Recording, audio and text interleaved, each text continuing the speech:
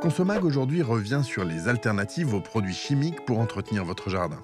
Depuis le 1er janvier 2019, la vente aux non-professionnels de pesticides chimiques incluant les insecticides, les herbicides ou les désherbants, ainsi que les antinuisibles et les fongicides est interdite. Il existe plusieurs alternatives pour jardiner au naturel et notamment lutter contre les mauvaises herbes. Contre la repousse des mauvaises herbes, vous pouvez commencer par pailler le sol avec les déchets du jardin, feuilles mortes ou tontes de pelouse sèche. Cela permet aussi de retenir l'eau, de protéger le sol et sa microfaune. Vous pouvez également semer des engrais verts sur les parcelles non cultivées du potager et penser à faire une tonte haute des gazons, 6 à 8 cm, qui permet entre autres de limiter l'envahissement par la mousse. Autre solution pour se débarrasser des mauvaises herbes, verser de l'eau bouillante sur les terrasses ou les allées. Enfin, vous pouvez désherber à l'aide d'une binette ou d'un sarcloir.